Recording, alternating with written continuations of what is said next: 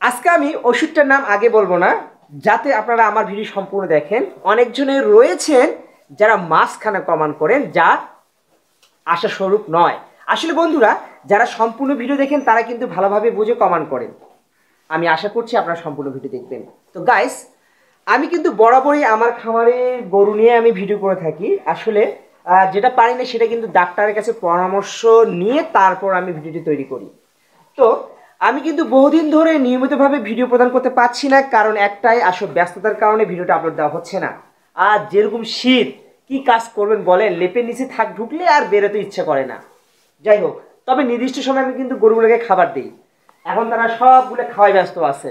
যাই হোক, আজকে যে আমি ওষুধটির আমি কথা বলব, অবশ্যই ধৈর্য সহকারে দেখবেন। দেন, ভিডিও শেষে একটা লাইক কমেন্ট শেয়ার আশা করছি। গাইস জি, আমি গরুর এই ওষুধটি নিয়ে আজকে আলোচনা করব ভিটাসেফ এইটি থ্রি আসলে এটিতে অনেক পরিমাণে ই রয়েছে। মানে এই ওষুধটার নামই হচ্ছে ভিটাসেফ এইটি থ্রি ই এই এটি এই ওষুধটাতে আপনার প্রতি লিটারে রয়েছে vitamin A vitamin D three vitamin E সবচেয়ে বেশি যেটি প্রয়োজন ভিটামিন এ এটিতে রয়েছে এবং ভিটামিন ডি থ্রি সবচেয়ে বেশি রয়েছে। বন্ধুরা, সবার আগে আমি ভিডিও শুরু করার আগে এটার দাম বলে নেই। দাম পাঁচশো নব্বই টাকা এমআরপি আপনি চাইলেরা আপনারা চাইলেই এটিতে দোকানে যার কাছ থেকে নেবেন, কম নিতে পারবে, একটু হলেও। এখন আমরা এই ওষুধটার ডিটেলস জানব, কোন ক্ষেত্রে ব্যবহার করবেন বা কী কী ক্ষেত্রে ব্যবহার করতে পারবেন, সেই সম্পর্কে ভিডিওটি অনেক ছোট হবে, তারপরে একটু ভালোভাবে শুনে নেবেন।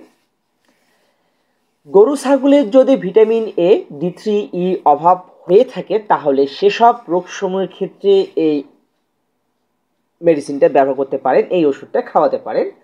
আসলে অনেক সময় দেখা যায় অনেক গরুর কিন্তু হাড় মজবুত হয় না, সেক্ষেত্রেও কিন্তু এই হাড় বৃদ্ধির মাধ্যমেও আপনি এই ওষুধটা খাওয়াতে পারেন। অনেক গরুর খাওয়ার পরে ওজন বৃদ্ধি হয় না। আপনি যদি এটি প্রতিনিয়ত খাওয়াতে পারেন, অবশ্যই ওজন বৃদ্ধি হবে।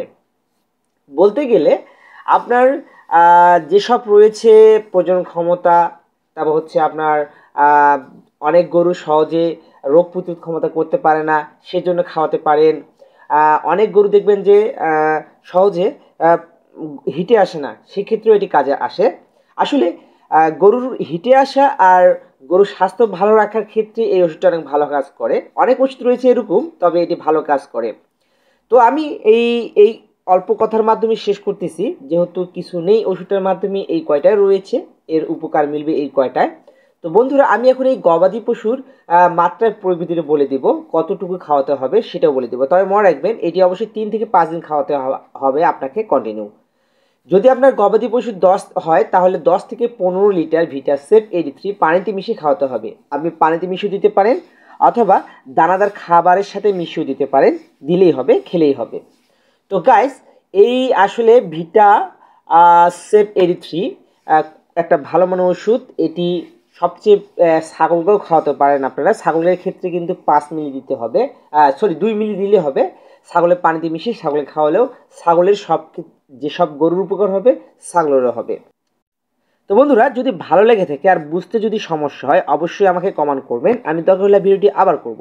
ভালো থাকবেন, সুস্থ থাকবেন। আল্লাহ হাফেজ।